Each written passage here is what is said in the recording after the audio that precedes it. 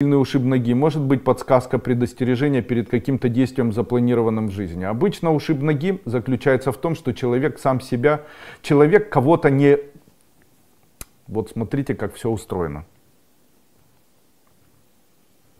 Человек встает и говорит, ох, что же это я так сделала, вот там сыну, там, ты там какашка и далее. И после этого Женщина может сказать себе, так зачем же я его обидела, я же его так люблю, он такой хороший.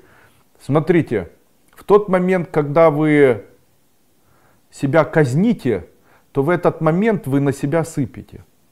Вообще есть, э, есть тексты, и э, есть тексты эзотерические. Один из текстов, там, по-моему, Леви написал в оккультизме своем знаменитом трактате – 1800, по-моему, 13 году.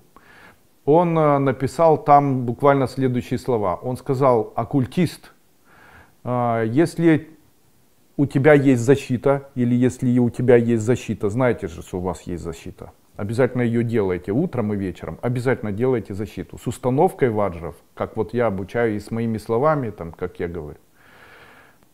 Если у, у тебя есть оккультист, если у тебя есть защита, и ты начинаешь на кого-то, если кто-то тебя сильно обидел, и твой враг тебя ненавидит, то сидя, представь этого человека маленьким ребенком, и говорит, ты мой хороший, ты мой зайчик, ой, ты мой зайчик.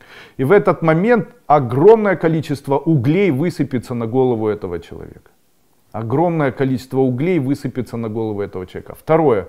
В случае, если не делать защиту и ненавидеть кого-то, то вы делаете это для себя, потому что ваша энергетическая аура является фактически зеркалом, которое отзеркаливает все вам. Поэтому сидя без защиты и говоря себе, «А, я ненавижу, сволочь, там еще что-то, вы себе делаете порчу. Таким образом, люди себе делают порчу. Построение защиты блокирует такую порчу, и человек как бы разворачивает зеркальное изображение с серебристого на золотистое. Тем самым становится транслирующим существом, а не наоборот. Feel First. Проходите мои ступени, сейчас есть скидка, переходите по вот, этому, э, по вот этой ссылке и пройдите мои ступени, я же там все рассказываю. Нет, это вас ни о чем никто не предупреждает, ничего такого не должно происходить, ничего.